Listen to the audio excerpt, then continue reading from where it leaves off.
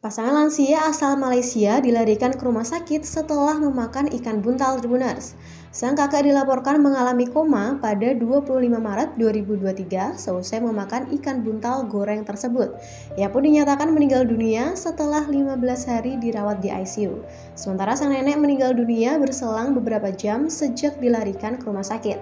Menurut sang anak, ayahnya tak diberitahu oleh pedagang langganannya bahwa ikan itu sebenarnya beracun. Keluarga pasangan lansia ini berharap pihak berwenang dapat mengambil tindakan hukum terhadap penjual dan pemasok ikan beracun itu. Pihaknya juga meminta Kemenkes untuk memantau keamanan pangan masyarakatnya agar peristiwa serupa tak terulang kembali.